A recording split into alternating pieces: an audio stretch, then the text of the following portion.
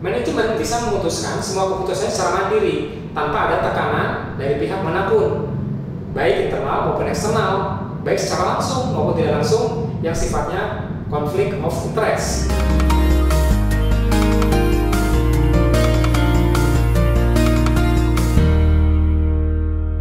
Rekan-rekan profesional yang saya hormati, selamat bertemu kembali.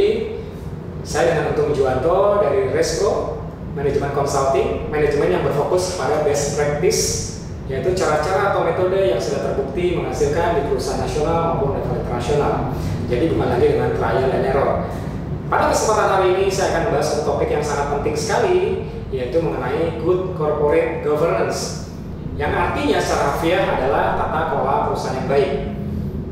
Kesadaran good corporate governance itu dimulai pada tahun 1922 saat terjadi krisis ekonomi yang cukup besar di Amerika Serikat di mana banyak perusahaan-perusahaan yang tumbang karena tidak dikelola dengan baik. Berdasarkan Cadbury Report, banyak sekali perusahaan yang tidak bisa uh, bertahan karena tata kelola yang kurang baik. Sedangkan di Indonesia, kesadaran GCG itu baru muncul tahun 97 dan 98 pada saat terjadi krisis ekonomi yang luar biasa di mana nilai tukar rupiah drop, kemudian terjadi rush money di perbankan, kemudian terjadi chaos di mana-mana. Sehingga timbullah kesadaran akan GCG karena pada waktu itu banyak sekali perusahaan yang terkena dampak dari krisis ekonomi, ekonomi tersebut, baik perusahaan swasta maupun perusahaan milik negara. Karena setelah diteliti mereka tidak menjalankan GCG di perusahaannya masing-masing.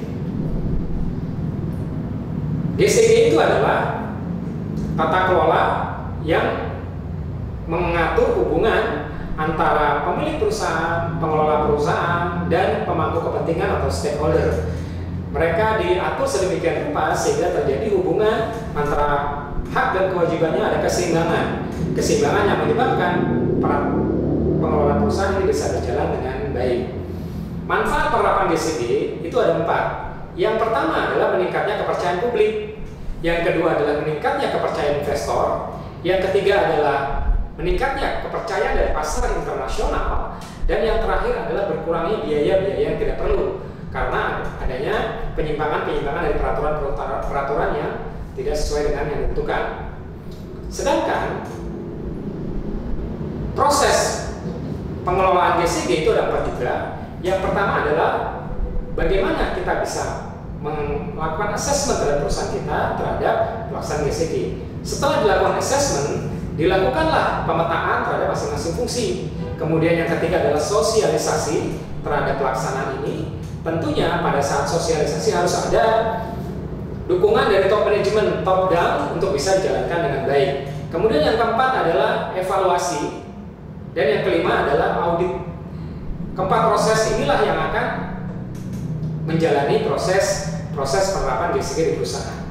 Untuk bisa menjalani proses penerapan GCG dengan baik, harus dilakukan prinsip-prinsip yang benar. Prinsip yang pertama adalah transparansi atau keterbukaan informasi.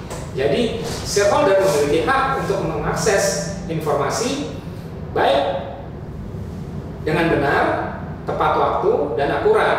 Yang kedua, prinsip kedua adalah responsibility atau tanggung jawab. Tanggung jawab perusahaan kepada pengelola perusahaan internal dan eksternal. Tanggung jawab terhadap kesehatan pekerja, kemudian tanggung jawab terhadap keselamatan pekerja, dan tanggung jawab terhadap penyampaian pajak di level eksternal. Kemudian yang prinsip yang ketiga adalah accountability, akuntabilitas, kejelasan tugas dan tanggung jawab dari masing-masing organ perusahaan. Organ yang pertama adalah pemilik perusahaan atau shareholder.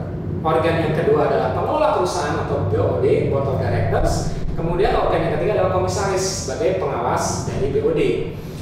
Adanya kejelasan hak, tugas, tanggung jawab, dan kewenangan. Kemudian prinsip berikutnya adalah independensi atau kemandirian. Di mana manajemen bisa memutuskan semua keputusannya secara mandiri tanpa ada tekanan dari pihak mana pun, baik internal maupun eksternal, baik secara langsung maupun tidak langsung yang sifatnya konflik of interest. Kemudian prinsip yang kelima adalah fairness atau keadilan dan kesetaraan serta serta kewajaran. Dari aspek apa? Dari aspek pengelolaan perusahaan, dari aspek publik, kemudian dari aspek pasar modal, dan dari aspek lingkungan. Jadi kelima prinsip itu yang wajib diterapkan pada saat kita ingin menerapkan GCG di perusahaan kita dengan efektif. Yang pertama adalah transparansi, yang kedua adalah accountability, yang ketiga adalah responsibility, yang keempat adalah independensi, yang kelima adalah fairness. Kami dari Resco siap membantu bagi perusahaan-perusahaan yang ingin menerapkan GCG di perusahaannya masing-masing.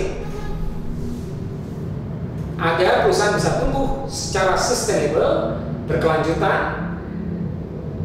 maka diperlukanlah tata kelola perusahaan yang baik. Demikian yang dapat saya sampaikan. Kami dari Resco Manajemen Consulting siap membantu Anda untuk bisa menerapkan GCG di perusahaan Anda. Terima kasih atas perhatiannya. Sustainable growth and manage your resources.